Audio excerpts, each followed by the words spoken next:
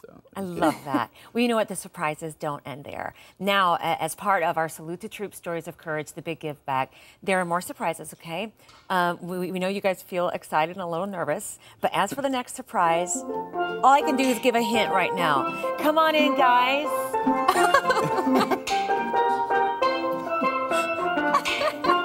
so, as for the next surprise, we got you two guys playing the steel drum.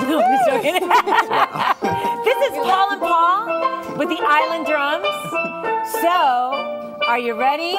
The next surprise is that you are getting free airfare to Jamaica for your honeymoon. Oh my goodness. Jamaica! that's a, Yeah, okay, okay. I've never no, I've never been there. You've never been to Jamaica? No, okay. no. All right. It doesn't end there. Are you ready? Now, I have a list Jamaica to an all inclusive resort. it is Ibero Star. They're going to give you a five day honeymoon, all included. Look